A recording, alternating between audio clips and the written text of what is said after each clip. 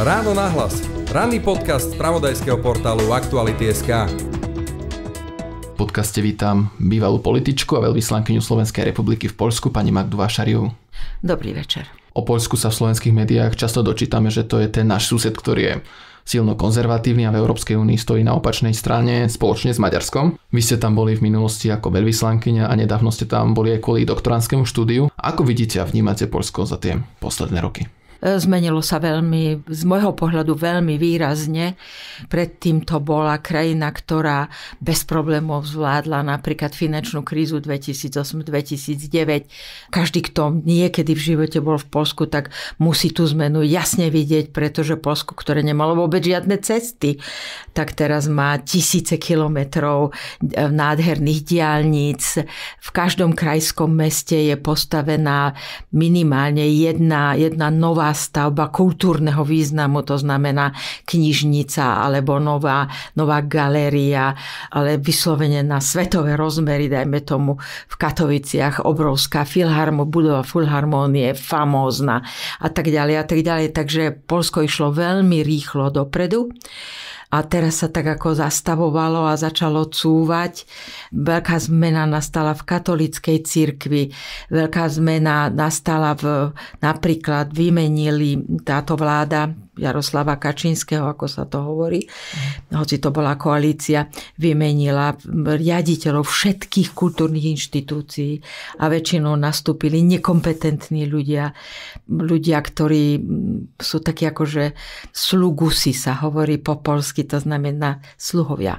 Ale to slugusi má ešte aj taký ešte iný, iný taký veľmi negatívny náboj.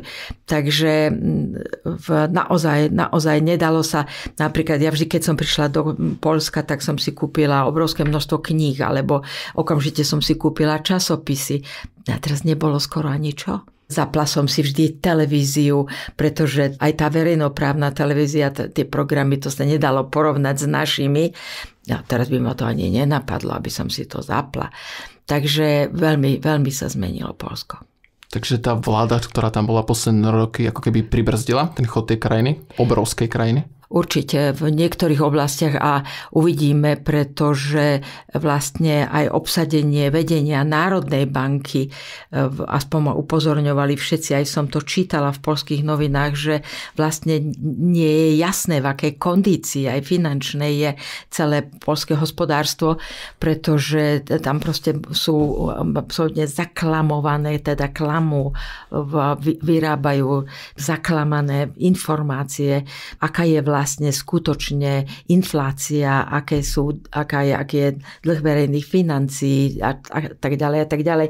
Ak ste počúvali správy, tak okamžite stúpol po výsledku volieb, okamžite zlotý stúpol 1,5%, okamžite všetky, všetky ukazovatele, ktoré my po výsledku našich volieb vôbec necítime, pretože máme euro. Čiže nám tak akorát myslím, že nejaké dlhy zdraželi, ale inak v podstate, ale toto všetko jasne ukazovalo, že aj svetový trhový mechanizmus, aj, aj podnikatelia, aj v samotnom Polsku počítali s tým, že musí tá zmena. Po tej rekordnej volebnej účasti v polských parlamentných voľbách je zrejme, že Polsko čaká pravdepodobne zmena a opozícii sa podarí nájsť väčšinu v parlamente, aj keď vládnúca strana právo a spravodlivosť podľa tých priebežných výsledkov vyhra voľby, no asi nebude mať s kým vládnuť. Čím to je, že Poliaci chceli po tých rokoch zmenu a dokázali sa zmobilizovať aj napriek tomu, že vládna strana, tak ako ste spomínali, ovládala aj verejnoprávne médium a šírili tam svoju propagandu a tým pádom to ani neboli férové voľby po tejto stránke. Čím to teda je, že Poliaci sa vybrali týmto smerom? Myslím si, že jednoducho e, vraciam sa k tomu momentu, kedy Donald Tusk opustil svoju funkciu na čele Európskej rady hej, a rozhodol sa, že odíde späť do Polska, aby pomohol vyhrať, e, lepšie povedané, aby pomohol poraziť PIS to znamená právo a spravodlivosť Jaroslava Kačinského. Tieto voľby, áno, boli aj o tých programoch a tak ďalej, ale ten hlavný program bolo vymeniť konečne túto vládu, ktorá tam bola 8 rokov. Mne táto vláda a tá atmosféra, ako to tam vyzeralo a ako vznikali podivných oligarchovia, ako sa kšeftovalo so štátnymi majetkami, pôdou a čo všetko skupovali zrazu ľudia z politiky a poslanci mne to pripomínali mečiarizmus. Vy ste príliš mladí, aby ste to zažili, ale toto bol mečiarizmus. A teraz si predstavte, my sme ho mali len 4 roky a dodnes sa toho nevieme zbaviť, tých dôsledkov. A teraz si predstavte, že oni to mali 8 rokov. Takže je to nádej, ale teraz vlastne, teraz ide na rad prezident, to je zase slugus, teda sluha vládnúcej strany PIS a teraz sa čaká vlastne, čo on urobí. Samozrejme, pravdepodobne, veľká pravdepodobne, že poverí zostavením vlády pána Kačinského a ten má dosť peňazí, aby začal chodiť od, posl- od poslanca k poslancovi, ktorí sú z tých dvoch menších strán, to znamená tretia cesta a v lavica, hej, bude chodiť a bude sa snažiť kúpiť poslancov. To mi hovoria všetci moji polskí priatelia. Takže pravdepodobne bude mať dokonca mesiac na to. Takže nebude to také jednoduché. A vraciam sa aj k tomu, že tesne pred voľbami vlastne odišli z armády ďalší dvaja generáli ako na protest, že armáda je, proste zasahuje politika do armády. Dokonca sa objavili v niektorých polských novinách, som to čítala, e, objavili sa také obavy, či nechce použiť e, Kačinský armádu proti svojim vlastným obyvateľom. Takže to môže ešte byť všelijaké a tu si musíme uvedomiť, že Slovensko v tomto ohľade nie je také spolitizované. Hej? Že jednoducho tu určité predsa len pravidlá platia ale v Polsku neplatia. Musíte si uvedomiť, že Polsko má rozvrátený ústavný súd, má rozvrátený najvyšší súd, má rozvrátenú vlastne skoro celú justíciu.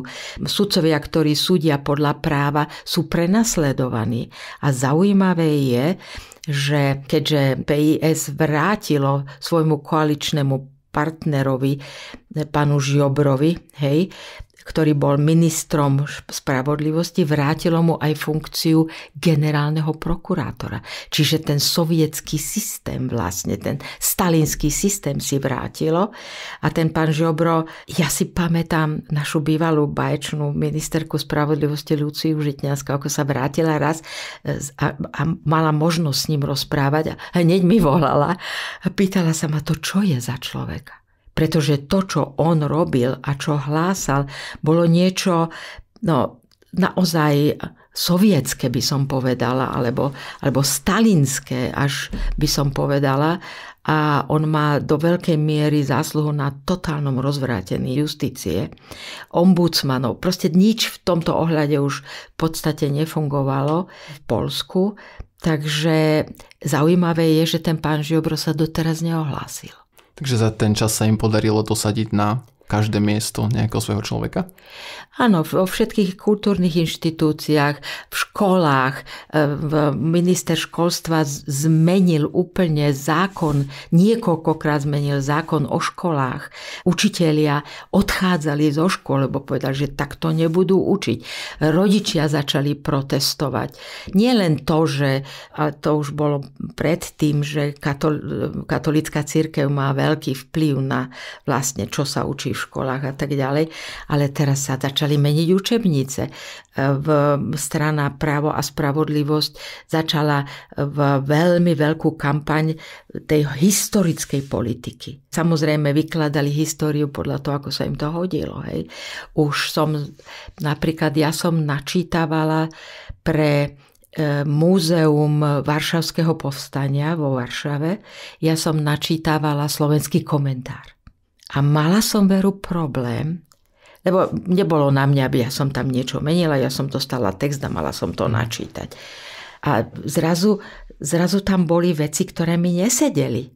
Nie som nejaký veľký znalec, hej, podrobne Varšavského povstania, ale niektoré veci mi tam nesadeli. Pretože oni jednoducho už, bratia Kačinsky, vylúčili tam niektoré veci, ktoré neboli celkom s nimi spojené, alebo niečo.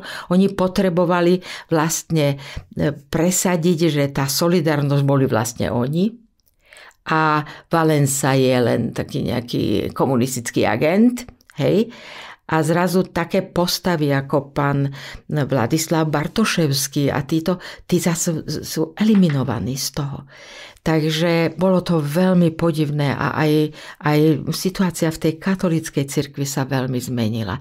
Kým predtým tam vlastne tí arcibiskupy, kardináli, samotná katolická univerzita v Lubline, to bolo stredisko vlastne najvyšších intelektuálnych hodnôt, tak teraz, keď počujete, čo hovorí arcibiskup Krakova, to je naozaj No, my sme zvyknutí tu, že, ja neviem, pán Kufa, ten, ten, teda ten brat, ten kňaz a tak trepu dve na tri všelijaké veci, ktoré sú v rozpore s kresťanským učením a s, vôbec s celou filozofiou Ježiša Krista, a tak ako je to prezentované v Biblii, ale toto je už vyslovene absolútne otvorený antisemitizmus. E, samozrejme obrovské útoky na ženy a, a podobne a na, hlavne na pápeža, na pápeža Františka. Ja si, otvorím nejaké stránky takých e, akože spoločenstiev kresťanských, tak tam, no čo tam sa dočítate, čo za... Zdá sa im moc liberálny? ja neviem, že či vôbec liberálni jednoducho sú proti a aj to, čo bolo ako učenie Jana Pavla II, mm. tak to, to ich vôbec nezaujíma. Oni bojujú len tým menom. Hej? No a potom to, čo urobili teraz vo voľbách, že ešte vypísali aj referendum ktoré malo štyri otázky, ktoré boli vlastne priamo programom PIS počas kampane. Hmm. Hej. Našťastie to referendum má asi len 40%, takže nie je vôbec záväzné. No ale ako to bude ďalej a či budú dodržiavať vlastne demokratické pravidlo a odstupia bez konfliktu, to aspoň mám taký pocit, že teraz keď po bede som sa oboznamovala s nejakými správami, že tam začína byť nejaké, proste začínajú pochybovať o to. Nie je to ale dobrá správa, ak vidíme, že nejaká vládna moc ovládne všetko, čo sa dá. Prida sa k ním aj církev, aj napriek tomu ten ľud zvolí opak? No ľud podľa toho, ktorý ľud, viete. Mm-hmm. Teraz sa napríklad, teraz čo som čítala naposledy, v 900 tisíc Poliakov hlasovalo zo zahraničia stáli od, od New Yorku až po Londýn, proste obrovské rady Poliakov, Barcelona a všetko možné. Ale teraz ako to započítať? Teraz som videla rozhovor šéfa volebnej komisie, že a to no, ešte musíme, ešte to nevážeme. E, no, tam, tam, budú, tam budú ešte sa snažiť nejako, nejakým spôsobom to zmenšiť ten počet poslancov PIS a tých dvoch malých strán. Dúfam, že to teda neprerastie do nejakého konfliktu. Dôvodom, že pravdepodobne skončí Kačinsky, je aj to, že prišlo voliť veľa mladých ľudí a žien. Čím to je, že sa im podarilo zmobilizovať tieto skupiny? To, že boli mladí ľudia voliť, to ma neprekvapilo, hej a že boli ľudia, ktorí sú vonku a hlasovali proti Kačinskému. To my máme presne tú istú skúsenosť, že voliči Sloven, Slováci zvonku volia skôr progresívnejšie teda nemusia voliť akurát progresívne Slovensko, ale progresívnejšie volia ako ľudia priamo tu. Polsko je rozdelené a aj tie výsledky volieb už to jasne ukazujú, rozdelené na dve časti. Tak ako bolo už mnohokrát a sami Poliaci hovoria, že to je Polska A, to je tá západná časť, a potom Polska B. To sme videli aj pri tých prezidentských voľbách, keď to bolo veľmi tesné. Áno. A dokonca teraz sa začína hovoriť o tom, že vlastne tie prezidentské voľby, tie druhé voľby mm. pána Dudu boli vlastne zmanipulované. Teda tie výsledky. Hej. Bolo veľmi, veľmi tesné. Lebo to bolo veľmi, veľmi tesné. A zase vidíte, že my sme na tom oveľa lepšie, lebo tu na Slovensku nikoho ani nenapadlo, že by mohol niekto sfalšovať voľby. Teda to, čo sme sa my báli v roku 1998 a okolo mňa aj v SFP vzniklo to občianské oko a obrovské množstvo mladých ľudí, ktorí boli v každom, v každom mestečku, v každej dedine, kontrolovali, že či naozaj voľby prebiehajú v poriadku a či sa teda niečo nerobí v tomto zmysle nekalého. Som veľmi rada, že v tomto ohľade, a tak by sme sa mali aj na nás pozerať na Slovensko, že my sme predsa len e, trošku, nechcem povedať civilizovanejší, lebo to nie je dobré slovo na to, ale že tie, tie demokratické inštitúcie tu majú trošku asi hĺbšie korene. Kto ale bude teraz v Polsku vládnuť? Čo vieme o tej opozícii, na ktorej čele stojí občianská koalícia s líderom Donaldom Tuskom, ktorá sa spojila práve proti Jaroslavovi Kačinskému a jeho strane? Tak je to ľavica, hej. To znamená, je to trošku konglomerát takých ľavicových strán alebo osobností a potom je to, sú to ľudovci. Ľudová strana, to znamená rolníci. V posledných rokoch tým, že vlastne oni rozvrátili vzťah s Európskou komisiou, hej, táto vláda, ako sa populárne, ale nepresne hovorí s Bruselom, hej, to neznášam, tak e, potom vlastne na tom trpia vlastne tí rolníci zastavenie niektorých platieb a tak ďalej, problémy, kradnutie, všelijaké machinácie s pozemkami a tak ďalej. Takže nejaká časť tých rolníkov, hlavne z tejto západnej polskej A, zrejme si povedala, že dosť. Takže to je ďalšia časť. Nebude to jednoduché. Už len z toho dôvodu, že tento režim tam trval 8 rokov. A ako som naznačila, je rozvrátené sú mnohé inštitúcie, ktoré boli v Polsku na oveľa vyššej úrovni, ako sme mali my. A my sme mali tie 4 roky a vidíte, že proste neustále ten mečiarizmus a tie spôsoby, ktoré sa zaviedli za mečiarizmu, vlastne tu nám robia problémy neustále a ľudia stále hľadajú nejakého vodcu, ktorý vlastne by spôsobil, aby susedov pes nebrechal a aby moja sesternica mohla sedieť v správnej rade a aby sme mohli kradnúť, povedzme to tak, ako to je, hej, beztrestne, aby sme si mohli kupovať výsledky výsledky na súde hej, a, a, a podobne. Teda to, čo sa dialo. A čo sa teraz rozkrylo za tie posledné roky. Takže vieme, že aké je to veľmi ťažké, takže viem si predstaviť, že to musí trvať oveľa dlhšie ako 4 roky zbaviť sa tohto dedičstva v Polsku. Samozrejme, že e, svet sa potešil, potešila sa na to v prvom rade, hej, musíme si uvedomiť, že tá, tá cesta do Přemýšľa vlastne, čo je teda bývalá monarchistická, obrovská, e, veľká, ako tu komár, no taká veľká tvrz, ako sa to povie po slovensky ja, ja občas idem v poštine, to bolo už aj za monarchie, to bol ten najvýchodnejší cíp a tam bola tá, tá, tie veľké múry a to všetko postavené proti ruským vojskám. Tak tadia, to je tá cesta, ktorou proste ide celá tá pomoc Ukrajine. Takže na to na čele so Spojenými štátmi to potrebuje udržať, samozrejme. A pokiaľ by pokračovala táto vláda, mohlo by to byť problém. Ale ten hlavný problém by bol s Európskou úniou.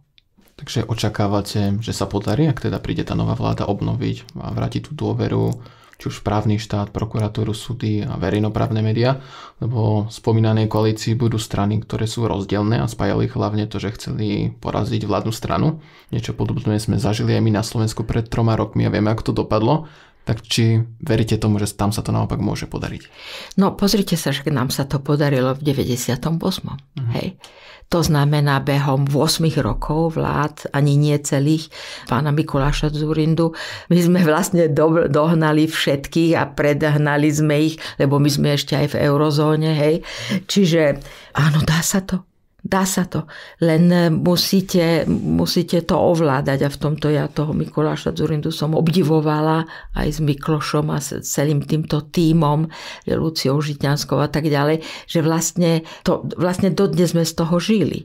dnes prvýkrát sa dostáva nová slovenská vláda k prázdnej komore. Hej, tam nie je nič proste. Peňaženka je prázdna. A vtedy vždycky bola plná, naplnená, dokonca v tom 2006 roku bola veľmi plná. Takže to sa potom vládlo. Ale uvidíme, uvidíme, aký plán si dá táto nová vláda, len sa musí dostať k moci. Hmm. To, to som chcela naznačiť, že ešte je tu nejaká, nejaká obava, že táto, títo, ani neviem, ako to nazvať, lebo Predstavte si, že Kačinský vlastne, no on bol, občas bol taký, že podpredseda vlády pre bezpečnosť, ale on nič nerobil, hej, nič. On je človek, ktorý nehovorí žiadnym jazykom, okrem polštiny a vlastne sedí len doma. Bol raz eh, hneď na začiatku na, na Ukrajine, hej, aj to len vlakom a sami sa odviezli tam a sami sa aj vrátili, nezobrali ani potraviny, ani humanitárnu pomoc, ani nedoviezli späť nejaké ženy s deťmi alebo niečo takého. Vyslovene len o seb, to, to myslia len na seba. Takže eh, on, ja si myslím, že nikdy v živote nebol ani v Bruseli. A to neviem, či bol v Berlíne vôbec. A tam je ešte ďalší problém, ale ktorý okamžite môže byť napravený a to je, že tie posledné týždne kampane PIS boli založené na idei, že tí Nemci sú pre nich to najhoršie vôbec. Také antinemecké, hej, tam antinemecká kampaň. A samozrejme Donald Tusk bol Nemec a hotovo. Ale našťastie sa našlo dostatok ľudí, ktorí napriek tomu, že boli podaní zo všetkých strán tej propagande, lebo napríklad tie veľké energetické podniky a tak ďalej dávali peniaze tým, rozumiete, novinám, ktoré písali proti a vymýšľali si už také sprostosti, ale nie je to zase pre mňa nič nové, lebo keď Donald Tusk vlastne kandidoval na prezidenta, tak vlastne ho porazila taká kampaň, že jeho starý otec bol SS, čo nebola pravda. No, trošku mi to pripomínalo mm, tie útoky na pána Schwarzenberga v Čechách. Hej. Táto karta na tej stene s Nemeckom e, je veľmi ľahko zneužiteľná.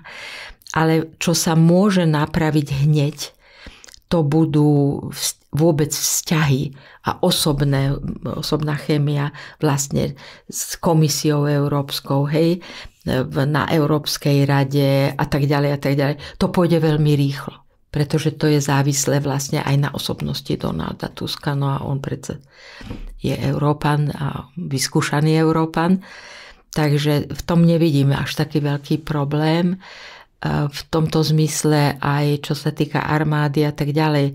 Mohli by sa vrátiť tí generáli, ktorí teda boli buď vyhodení, alebo sami odišli na protest. Len e, musí dôjsť k mierovému odovzdaniu moci. Tým, že bývam blízko polských hraníc, tak ja mám skúsenosť s tým, že hovorili tam presne o tom, že ak vyhrá tá druhá strana, predajú nás Nemcom. Ano. Čo sa tým, čo sa tým boja?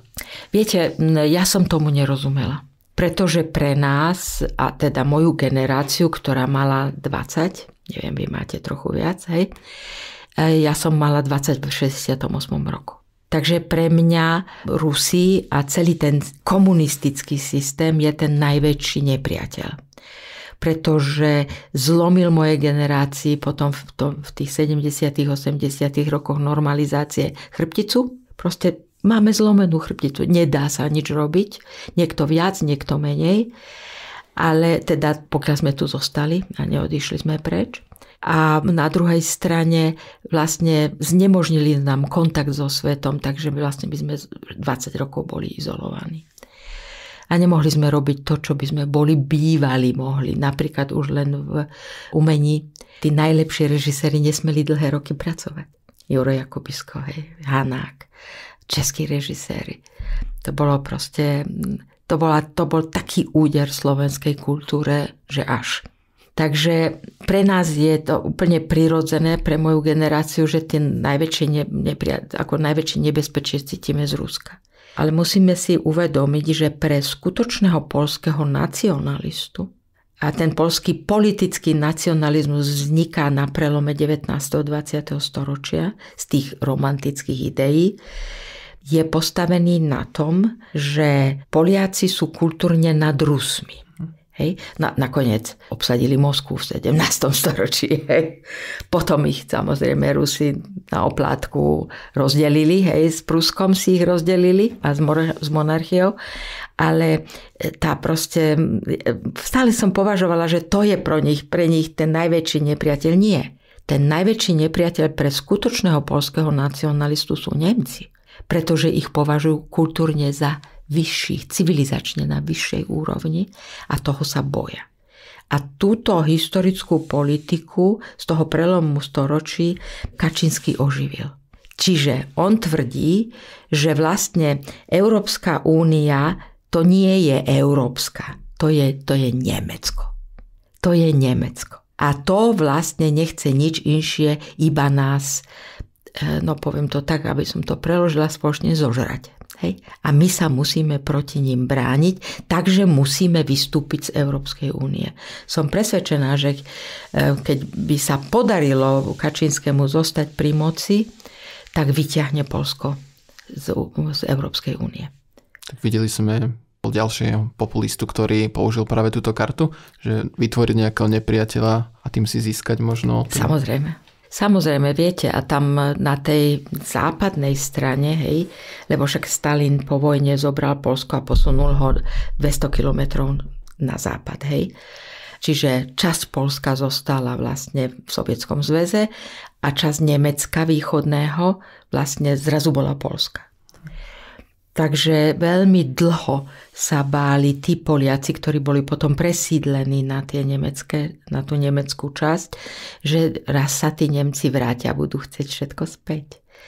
Toto sme my nezažili, ale Česi v tom páse pri hraničnom s Nemcami to zažili ako v tých súdetoch. A to myslím si, že tam ešte stále tiež aj politicky sa s tým trochu pracuje, s týmto pocitom, že prídu Nemci a všetko nám to zase zoberú. Takže je to, to Polsko je komplikovaná, strategicky mimoriadne dôležitá krajina a je to náš mimoriadne dôležitý sused. To si musíme uvedomiť. Ale už som to dnes niekam povedala, že víťazstvo Donalda Tuska a týchto proeurópskych síl v Polsku znamená jednu vec – Nielen, že nás vystavuje viacej na pranier, uh-huh. lebo tie voľby išli tak blízko seba, dva týždne bol rozdiel. To znamená, že sa píše, už som to čítala v Guardian a tak ďalej, že vlastne po hrozných voľbách na Slovensku môžeme dúfať teda vo veľmi pozitívny vývoj v Polsku. Doslovne takáto veta v Guardian. Takže Slovensko bude ešte izolovanejšie lebo Donald Tusk, a poznám ho osobne, sa určite nebude s Ficom objímať. A objímať sa s Viktorom Orbánom, no to, to, to síce môže ukázať, ale ja tomu neverím ani chvíľku, pretože Viktor Orbán je dnes už skutočný maďarský nacionalista a pán Robert Fico to bude iba hrať, že, lebo myslím si, že pôjde touto strunou, že bude hrať, že aký je teraz veľký nacionalista, on, ktorý bol predtým internacionalista, potom bol Európan, no a teraz teraz bude zase toto. No dobre, takéto divadielko snáď znesieme no, na pár rokov. Ako vnímate tie voľby na Slovensku a v Polsku? Ne, ne, ne, nevyzerá to tak, že iba sme si to vymenili? Nie. Skôr sa mi zdá, že všetky tieto stredoeurópske krajiny ako keby museli si prejsť tým, čo mu hovoríme mečiarizmus. Tak mi to pripada a že my vlastne sme si tým prešli už na začiatku 90. rokov, takže vlastne my im ukazujeme tú cestu ktorou, ktorou by mali ísť. Skôr takto sa mi to zdá, pretože pamätám sa, že ja som v Polsku pečená varená, že mi hovorili, ale ako je to možné, že vy máte toho mečiara. To je hrozné, no to sa tu nikdy nemôže stať. Viete, tak, taká, cítila som, bolo mi to nepríjemné, ale cítila som takú tú, akože, no tak tí Slováci, to je majú Mečiara. No. Tak to my to proste niečo takého, takého neintelektuálneho, takého ne, necivilizovaného a tak ďalej, to u nás nikdy nemôže byť. Teraz pokorneli trošku. To isté mi hovorili v Maďarsku že no tak ale tak toto nie snáď. Rozumiete? A teraz má 35% pán Babiš v Čechách a má nakročené na predsedu vlády. Ja sa vrátil. Hej. Čiže tam zase nastane veľký konflikt medzi hradom a vládou, ktorý vlastne sa neustále vymieňa a ten je zničujúci pre krajinu. Takže mám taký pocit, ako keby sme všetci museli po tej veľmi úspešnej transformácii, veď my sme veľmi úspešné krajiny, prešli sme unikátnou transformáciou, ktorú nikto pred nami nerobil, nemusel robiť a zvládli sme ju, zvládli sme za tých 15 rokov vojsť do NATO, do Európskej únie, my aj do eurozóny, do Schengenu. Rozumiete, stali sme sa súčasťou, dneska máme nad sebou bezpečnostný dážnik NATO.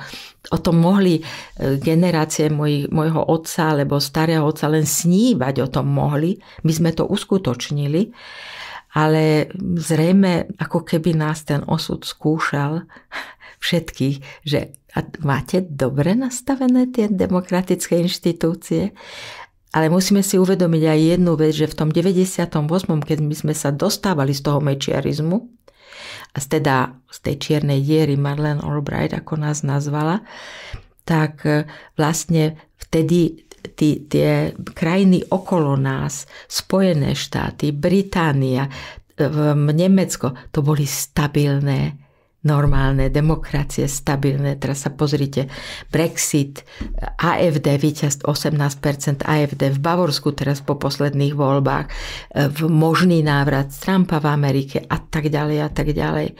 A to už ani nehovorím o vojne v Ukrajine. Takže to prostredie okolo nás je oveľa eh, komplikovanejšie a vyžaduje od nás, aby sme sa konečne zbavili toho, toho najhoršieho, čo ja teda ako odborník zahranično-politicky vidím u nás, a to je naivnosť že naivne sme si mysleli, že pred Mníchovom, že Británia a, v, a Francúzsko, že nás ochránia. Hej. No to bolo naivné, to zbavili sa nás. A to isté sa Jalta, hej, a všetky tieto, keď nás nechali vlastne Stalinovi úplne pokojne. Dnes už vieme, že Churchill bol vlastne pred Dealtovou Stalina a ponúkol nás. Ponúkol nás, to už dnes vieme z archívov, hej. Stále ho obdivujeme, no ale toto bohužiaľ to, toto sme sa dozvedeli. Čiže ako keby my sme chceli dokázať teraz, my teda tými slovenskými voľbami, že bože môj, prečo sme si ich zaveseli na krk, hej, Maďariemi. No a tí Poliaci nás teraz môžu trošku z toho ťahať. No uvidíme. Držím palce. Môže len na Slovensku nastať niečo podobné, ako sme mali doteraz v Polsku? Spomínali sme ten právny štát, prokuratúru, súdy, ale aj tie verejnoprávnu televíziu, ktorú v Polsku ovládala vládna strana. Vieme, že už teraz sa hovorí o tom, že RTV si rozdelia Smer a SNS, tak či nemôže toto nastať aj u nás? No, ono to už tu bolo. Už to tu bolo, tuším, dvakrát raz za Mečiara a raz za, za dru- pokusy boli tretí Fico. Hej, lebo teraz je štvrtýkrát. Čiže malo to za následok ten, že vlastne tu sa stali silné tie súkromné televízie. Hej. Mm. A vlastne veľmi poklesla tá sledovanosť verejnoprávnej televízie. Hej. Trošku sa to podarilo zvýšiť niektorým tým riaditeľom, ale v podstate ona nie je určujúca. To si musíme uvedomiť. Takže aj, ich mož, aj možnosť potom takejto televízie úplne ovplyvniť, no tak potom naklusala Markíza, hej, alebo Radio Twist, alebo ten priestor tu je predsa len taký slobodnejší, voľnejší. Dnes máme, vtedy sme nemali, veď roky sme nemali skutočný ústavný súd. Viedla ho, e, prepačte, milenka prezidenta, ktorá, nevedel, ktorá nevedela o tom vôbec nič. Aspoň si myslím, aspoň takto to vyzeralo. Takže e, dnes máme ten ústavný súd fungujúci, máme ten najvyšší súd. Uvidíme, Fico teraz, pán Fico teda sluboval, že teda dostane opozícia aj v parlamente všetky tie kontrolné výbory a tak ďalej. No, uvidíme, či to splní. Dívala som sa na neho, poznám ho roky nie je to nikdy môj, moja káva, hej, ale vyzeralo to, že to chce dodržať. Možno, si uvedomuje, že e, musí ísť buď. Recept Orbána bol pre Kačínskeho pomaly to robiť. Viete, pomaly variť tú žabu. Hej? To nie je tak vidieť. No, lebo vtedy nevyskočíte z tej mhm. horúcej vody. Keď vás hodia do horúcej vody, tak okamžite vyskočíte. A keď to, keď to pomalinky zohrievajú.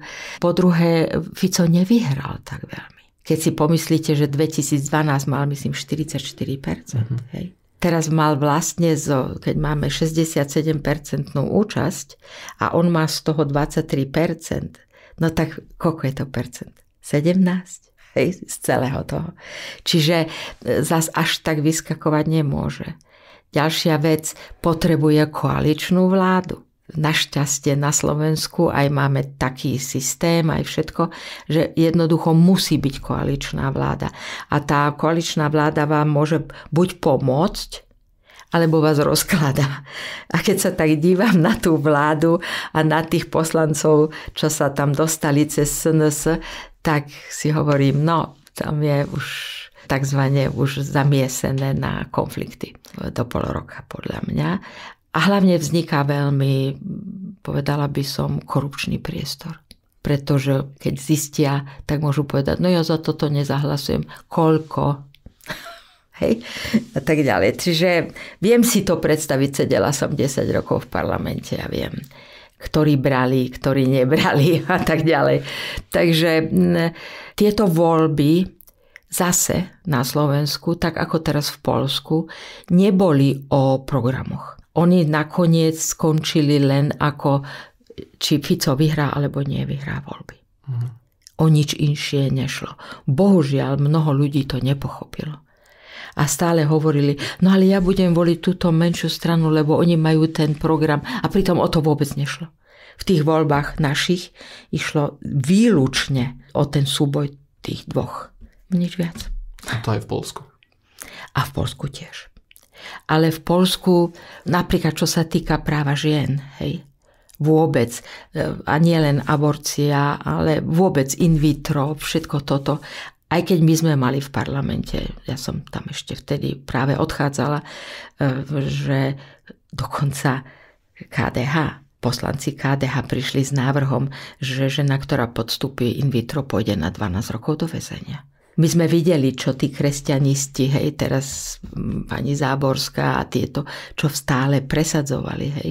A tá časť to už platí v Polsku. Tam umierajú ženy pretože neratujú ich, ale ratujú plod do posledného okamžiku, kým bije srdiečko, tak to je dôležité. To, že treba tú ženu liečiť, alebo čo. Život ženy nemá hodnotu.